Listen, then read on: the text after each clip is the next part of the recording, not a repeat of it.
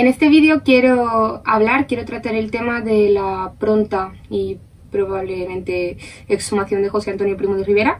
Eh, es una noticia que nos ha sorprendido a todos hace dos días, el pasado martes, y bueno, pues ha causado euforia en una parte de la sociedad y en otra, por supuesto, mucha mucha adversidad, mucha adversión.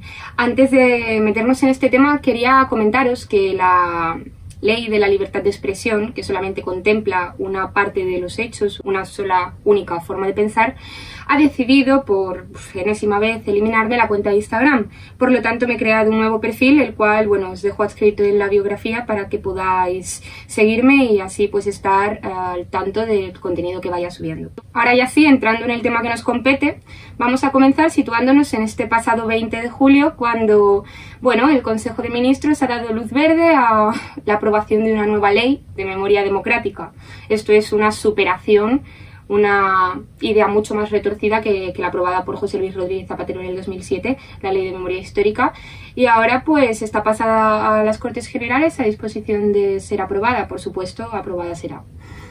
Entre las lindezas que esta nueva ley contempla, que quieren implantar, bueno, pues está eh, la condena y repudia al franquismo, a la dictadura de, de Franco y al 1936, este dato es importante debido a, bueno, eh, el tema de este, de este vídeo que únicamente va a ser José Antonio Primo de Rivera. Lo que quieren condenar es el franquismo. Luego también quieren crear el Día Nacional de las Víctimas el 31 de octubre. Mm, curioso, el día que asesinaron, fusilaron a Ramiro Díaz Ramos junto a Maeztu, mm, bueno, 300 personas en Aravaca esa noche. Y bueno, eh, en fin, pero, pero para, las víctimas del franquismo, claro que sí. Luego también crear un banco de ADN, facilitar documentos a todo el mundo para, la revisión de la, de la memoria democrática. También tenemos tonterías varias como crear el día para los exiliados, eh, condenar con delitos de, pena de cárcel y de sanciones económicas desde un 200 a 120 mil euros cualquier apología al fascismo eh, o delito de odio, que por supuesto pues en este mundo van ligados. El fascismo es odio. Entre todas estas tonterías, eh, crear un auditorio eh, y, un inventario, etcétera, para bueno, pues una cámara especial para todo este tema de la ley de memoria democrática, vamos a, situarnos en, el sustratum de este asunto, ¿no? en, el, tema que más me hace hervir la sangre, que es eh, José Antonio Primo de Rivera. Bueno, la, la, nueva ley, desde luego, lo que, lo que más ha anunciado es lo ha entrado por la puerta grande proclamando la exhumación del cuerpo de, un hombre que bueno, fue fusilado en el año 1936 en la cárcel de Modelo de Alicante. Se ve que en el año 2021, con la crisis que se aproxima para, octubre, eh, los cuales eh, bueno, los economistas eh, advierten va a ser la tercera crisis más importante de la historia española, pero bueno, esos datos son, son irrelevantes. Una subida de luz que ha dejado a las familias tiritando. Em, el problema de las pensiones, el problema del comercio nacional, eh, en fin, todo eso, bueno, pues parece que no nos importa, ¿no? La, preocupante situación demográfica española, el descenso de la natalidad, eh, la precariedad juvenil, la incapacidad de cualquier joven para saber si va a tener un futuro digno, si va a poder independizarse a una edad decente, si va a poder formar su propia familia, va a poder mantenerla. Todo eso son problemas menores, son, bueno, en fin, estupideces que no quitan el sueño a nadie. No obstante, que Primo de Rivera esté aún enterrado en ese mausoleo llamado Valle de los Caídos, bueno, pues es, digno de, estudio, es digno, por supuesto, de, acabar con el problema, cortar de raíz este, este terrible acontecimiento. Ahora bien, vamos a presuponer que yo no tengo la ideología que tengo y que no admiro la figura de José Antonio. Y vamos a intentar analizar un poco brevemente su vida, su obra y sobre todo su legado para comprender si realmente es justo o necesario eh, la exhumación de José Antonio. Remontámonos al año 1905. José Antonio Primo de Rivera nace en la calle Génova, en Madrid. Todavía guardan una placa. Eh, el edificio, por supuesto, pues esto será, será cuestión de meses que, que se derribe, que se elimine. A lo mejor pasa como en Austria, que quieren tirar la casa en la que vivió el pintor. No creo, porque en ese edificio tienen también la Audiencia Nacional, etc. Pero lo que está claro es que le van a eliminar la, placa. José Antonio nace en una familia noble, es marqués de Estella, y bueno, es eh, hijo de, un hombre que dio un golpe militar eh, en España en los años 20, ya que, bueno, el gobierno era insostenible, la situación en África descontentaba a todos los españoles y el hombre, bueno, pues tomó las riendas, por así decirlo, mal o bien. El problema está en que cuando se tiene que exiliar a Bayona, eh, por todo lo que hizo por el país, porque las cosas como son, consiguió un aumento económico impresionante, una capacidad militarista eh, sin precedentes en ese momento, etcétera, pero bueno, pues al final impuso un régimen con respaldo del rey, pero lo impuso. Pues en cuanto se exilia, las malas lenguas, las cortes, el parlamento, etcétera, únicamente se va a dedicar a eh, hablar de él, eh, injurias sobre su persona, eh, ataques a su honor. Y José Antonio Primo de Rivera, que por aquel entonces ya era abogado y ejercía su carrera, pues decide meterse en política únicamente con el fin de lavar la memoria de su padre. Muy diferente a Ramiro Ledesma Ramos, Primo de Rivera principalmente no va a estar en un partido de corte socialista, en un partido podamos encuadrarlo en la izquierda, sino eh, que va a ser eh, perteneciente de la Unión Monárquica, un partido derechista, un partido tradicional, etc. Claro que pronto la influencia de Ernesto Jiménez Caballero, podríamos situar a este, a este personaje como, como el introductor del fascismo en España, el primero en escribir una, una carta, un texto fascista puramente con, con las cartas marruecas, bueno, pues Em, le, va, le va a calar hondamente en el pensamiento del joven marqués y esto le va a llevar a indagar sobre el tema, concertar una visita con Mussolini, intento también con Hitler, etc. Y su, su pensamiento va a ir cambiando progresivamente hasta que abandona totalmente la Unión Monárquica y decide crear una, una revista llamada El Facio, que bueno, únicamente tiene una publicación de un número, ya que eh, bueno, José Ramiro Ledesma le llevaba ventaja. Con la conquista del Estado era más española, era puramente española, pertenecía al genio de los españoles y no a algo mimetizado totalmente de Italia. Frustrado este intento, José Antonio habla con personajes en ese momento relevantes como Julio Ruiz de Alda, el primer piloto, bueno, destaca sobre todo por su carrera eh, como aviador, aunque luego cuando se mete en política no se queda nada corto. También con Jiménez Caballero, con eh, Valdecasas, el cual se sabe muy poco de él. También muchas mujeres, entre ellas Dora Maqueda, eh, Justina o Pilar fundan en el Teatro de la Comedia el 29 de octubre de 1933 la Falange.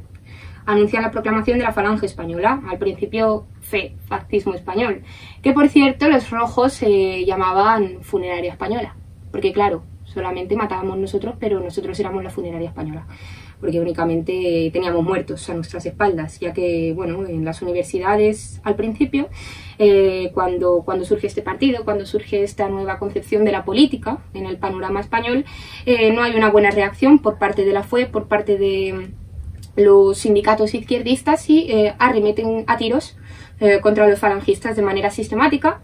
Primo de Rivera, este hombre tan violento al que se le quiere sumar, se negaba totalmente a la lucha armada hasta que ya llega un momento en el que matan a Matías Montero, un joven amenazado de muerte por repartir semanarios de fe en, la universidad y bueno, pues eh, Montero aún, con la amenaza decide seguir repartiéndolos y efectivamente al día siguiente lo matan.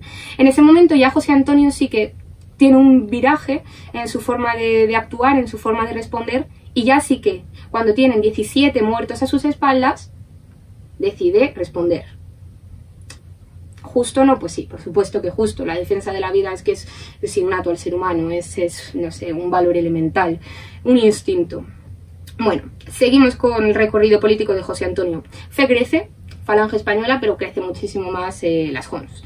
La Jons crece más a nivel obrero, crece más a nivel militante, pero sí que es verdad que la influencia de la familia de José Antonio, el nombre que él tenía, hace que su partido tenga más renombre. Por lo tanto, Ramiro y José Antonio terminan fusionando Falange Española de las Homs, ya que al final el pensamiento de José Antonio es el pensamiento de, Ledesma, quitando la concepción católica, bueno, quitando un poco también las influencias filosóficas, uno es aristotélico otro es eh, de la escuela alemana, pues pero sí, básicamente eh, José Antonio lo que hace es eh, encontrar una fuente de inspiración, una, fuente de, fuerzas en, la conquista del Estado. Así que se terminan fusionando.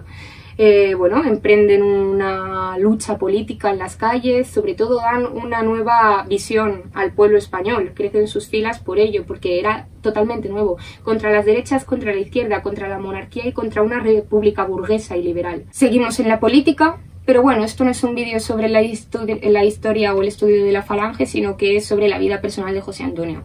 José Antonio destaca, eh, como se puede leer en su biografía, como se puede leer entre eh, en los miles de libros que hay escrito sobre su persona, que es una persona sobre todo humilde, deja de pagar la luz de su, de su casa por, por financiar a la falange. Eh, estoy hablando de un marqués, renuncia a su riqueza por ello. Un marqués que teniéndolo absolutamente todo en esta vida, prefiere dejar de, lado todas esas riquezas y luchar y morir por la patria, el pan y la justicia para su pueblo. Un pueblo que carecía totalmente de pan y, como él decía, si no tienes pan no te pueden hablar de, patria ni, ni, de justicia.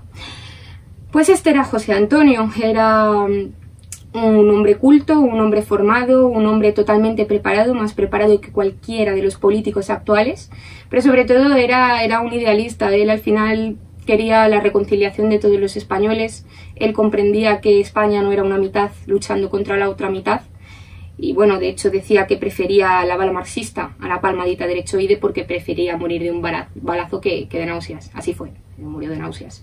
O sea, murió de un balazo porque, porque bueno, pues eh, las náuseas que le provocaría el régimen franquista, desde luego que no, no, le fueron favorables. Total, que mm, comienza el año 1936. A José Antonio Primo de Rivera lo detienen por tenencia ilícita de armas, nunca se encuentran esas armas. Y bueno, pues se acaba en la cárcel de Madrid pero pronto será trasladado a la cárcel modelo y ahí ya sus familiares saben que no le vuelven a ver.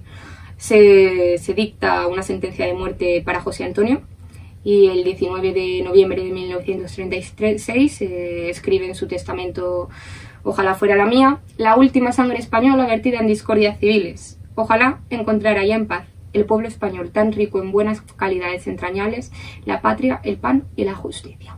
20 de noviembre de madrugada, Valencia, bajo el amanecer levantino, es asesinado. asesinado mm, vilmente. Se cuenta de este momento que, bueno, uno de los carceleros, uno de los celadores, que tenía que acompañar a José Antonio al patio de fusilamiento, cuyo único deseo fue que no obligasen a su hermano a pisar su sangre después, también metido en esa cárcel, por supuesto le obligaron después, eh, claramente. Bueno, pues cuentan que ese era noviembre, hacía mucho frío y José Antonio le da su abrigo a este celador, un hombre que le estaba acompañando el brazo a la muerte. Luego también se cuenta que los, los fusiladores eh, no querían. Se provocó una oposición férrea entre los fusiladores, por supuesto pertenecientes al Banco Republicano.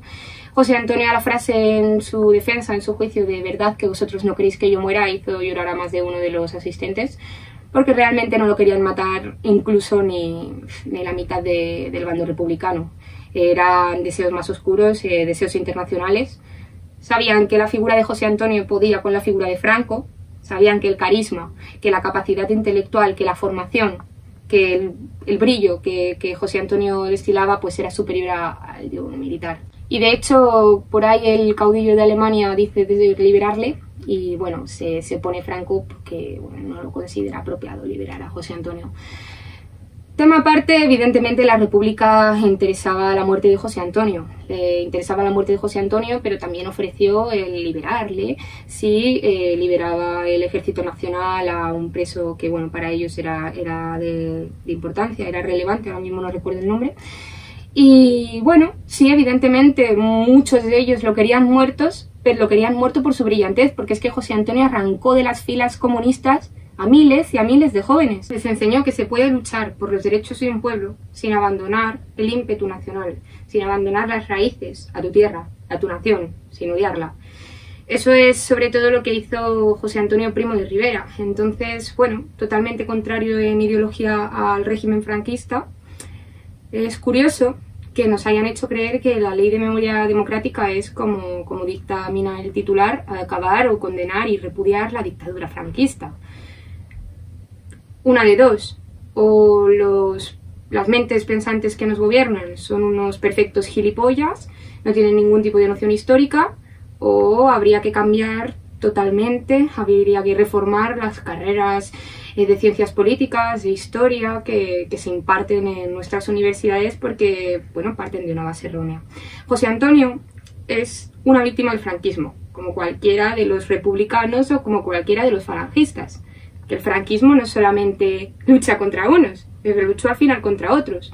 Y ojo que no estoy diciendo que hubiese sido mejor el triunfo del otro bando, no, no es cuestión de eso, es cuestión de que nunca debería de haber habido un conflicto fratricida. Y frente a la frase de la, eh, de la pasionaria, que, bueno, prefería mil muertos a un fascista con vida, pues está la de José Antonio. Ojalá la mía, la última sangre vertida. En fin, eh, para, para, terminar este, este pequeño vídeo, eh, os invito a la reflexión sobre, sobre este tema, cuál es realmente el fin de la ley de memoria democrática, acabar con todo arraigo nacional, acabar con todo amor a tu patria, no poder sentirte orgulloso de tu historia, no poder ni siquiera estudiarla, como pasa en Alemania, o realmente tiene, tiene algún trasfondo ideológico, algún trasfondo, bueno, pues revanchista, no, no lo sabemos muy bien. Y para finalizar vamos a citar un poema de, Machado y dice así, ¿en qué lucero ¿En qué sol, en qué estrella peregrina montas la guardia? Cuando a la divina bóveda miro, tu respuesta espero. Toda belleza fue tu vida clara, sublime entendimiento, ánimo fuerte, y en pleno ardor triunfal, temprana muerte, porque la juventud no te faltara. Háblanos tú de tu perfecta gloria, hoy nos enturbia la lección y el llanto, mas ya el sagrado nimbo te acompaña, en la portada de la nueva historia, la patria inscribe ya tu nombre santo.